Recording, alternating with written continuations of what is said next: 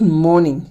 What an amazing time to be able to meet with you here as we are ending off our um, month of May. It's difficult to believe that we are already past the fifth month of this year. It's been quite hectic and quite busy, but we thank the Lord that we have come through it. And we also today conclude the series called Listening to God in a Time of Crisis.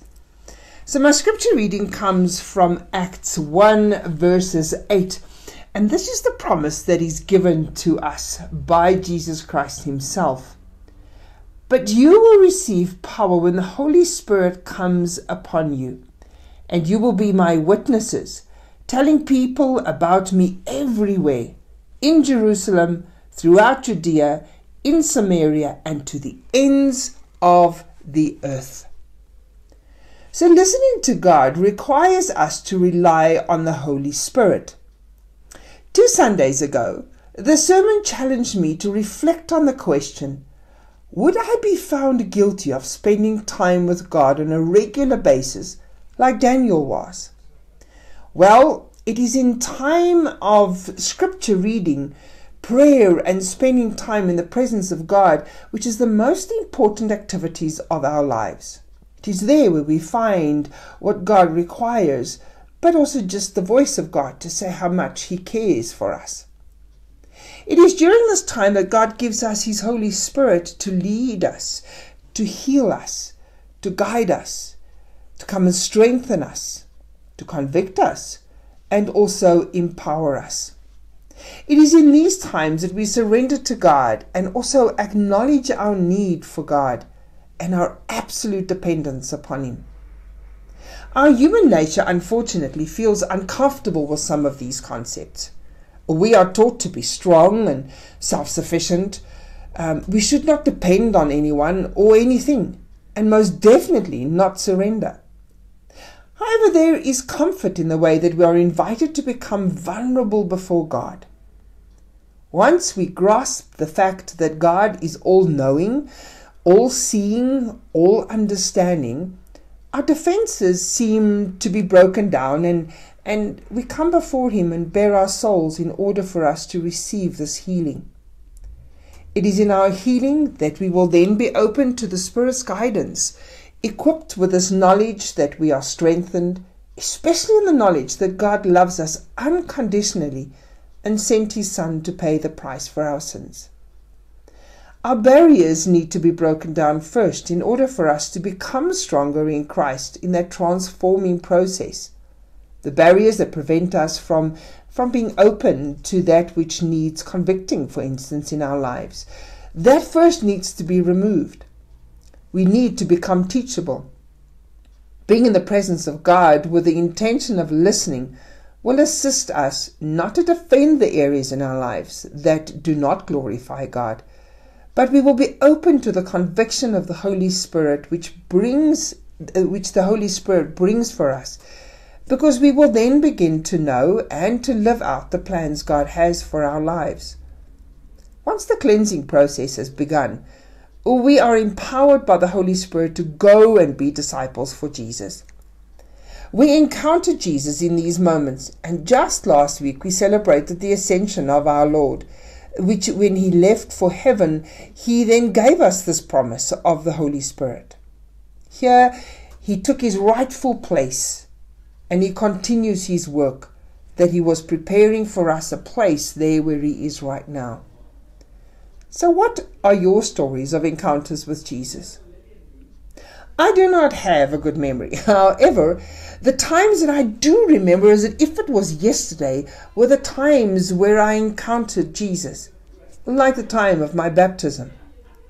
The decision to receive Christ as my Lord and Savior in a personal capacity and no longer depending on my parents to take me to church or remind me to pray or to read scripture is one of those wow moments that one holds on to and continues to desire. I remember how my heart was moved towards leading others to Christ at the age of 17. The times when I tangibly felt the presence of God at moments, those moments are the ones I cherish. Coming into the presence of God every time is a continuance of those experiences. These encounters change one, gives you new joy as, as well as peace and love for people no matter their story. This reliance on God is, however, continually required in, in order for God's mission to be accomplished through us, and not our own, for the burning desire of evangelism to take us into the world with a message from God. So we need to remember that Jesus is the rock on which the church is built. He is the center. We are the church, and the church is the body of Jesus. As we gather in community by coming together, we encounter Jesus through worship, through prayer, and He speaks to us while we are reading His Word. He speaks to us as a community and as individuals. Through all of these elements, however, we encounter Jesus through the work of the Holy Spirit directly. Nicky Gumbel has a powerful prayer which he uses in Alpha and at his leading conf- uh, leadership conferences and, and apparently at every service at his church whenever they have time of prayer. And he encourages us to use these the same prayer if we're in community or when we're on our own. And it's a short, simple prayer that says, Come, Holy Spirit. It might be only three words, but has extreme power. As we continue in our week, we look around us, we look inside of ourselves, and we recognize the place in our lives that we need God's power, where we need His healing and encouragement. I ask you then to take time to invite the Holy Spirit into every aspect of your life and to rely on His power. We are called to be witnesses of Christ even in times of crisis.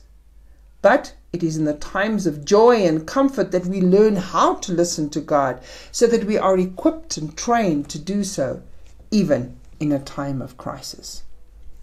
Come, let us pray. Heavenly Father, as we face this week, which is unknown, there are many things that happen in our lives that we do not plan for. We start out our morning with many things upon our mind and how we envisage our day to be. Dear Lord, but then crises do arrive. Life changes in an instant. And dear Lord, these are the moments that we need to listen to you intently.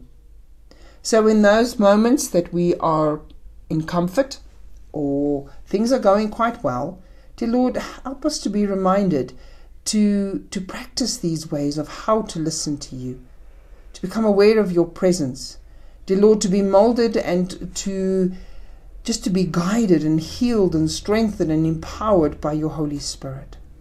So as we start this day, we ask, Come, Holy Spirit. Just come and be with us. Come and guide and lead us. Come and open scripture for us.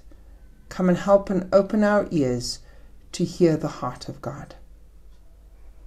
Go with us into this week, and we thank you that we are able to still continue to gather in this way, even if it over, is over a digital um, platform, dear Lord. We are able to share and we are able to pray together.